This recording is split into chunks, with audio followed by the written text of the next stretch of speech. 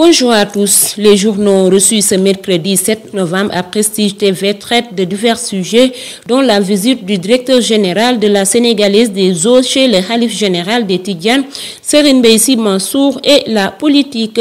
Démarrons par l'observateur concernant l'appel d'offres pour un second contrat d'affermage suite à la visite du directeur général de la Sénégalaise des eaux chez le Khalif général des Tidjanes, Serine Beissi Mansour.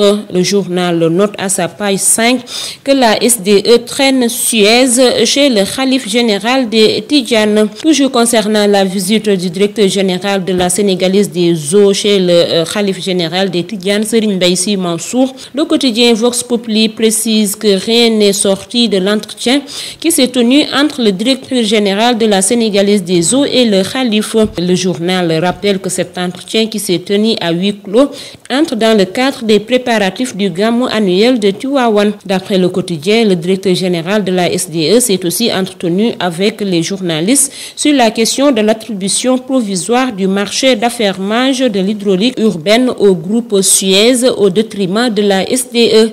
Abdoulbal précise que la Sénégalaise des eaux qui gère l'eau au Sénégal depuis 1996 n'entend pas se laisser faire. Parlons à présent de la politique avec la réunion du secrétaire exécutif national de l'APR, qui engage la guerre à titrer le quotidien. Le journal informe que le congrès ordinaire de l'APR est transformé en congrès d'investiture de Benno Yakar. Le président satisfait de la collecte de signatures pour son parrainage, toujours selon le quotidien, Youssar est maintenant à la tête des cadres du parti et Abdoulaye Diagne gère désormais les élèves et étudiants républicains. Parlons toujours de politique avec la sécurisation du scrutin présidentiel, le nouveau cheval de bataille de l'opposition pour Maligakou.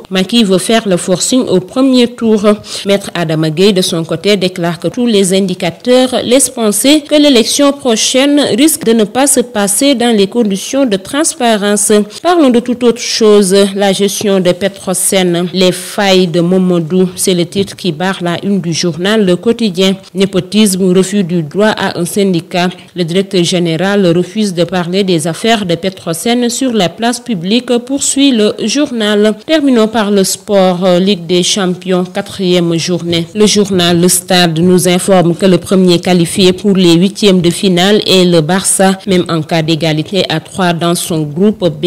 La bande de Lionel Messi, ménagée mardi, sera qualifiée. Paris Saint-Germain a raté l'occasion de prendre la tête du groupe de la mort en concédant le nul à Naples, un but partout. C'est en revanche terminé pour Monaco qui s'est sabordé face à Brooks 4 buts à 0 et est officiellement éliminé de la Ligue des champions.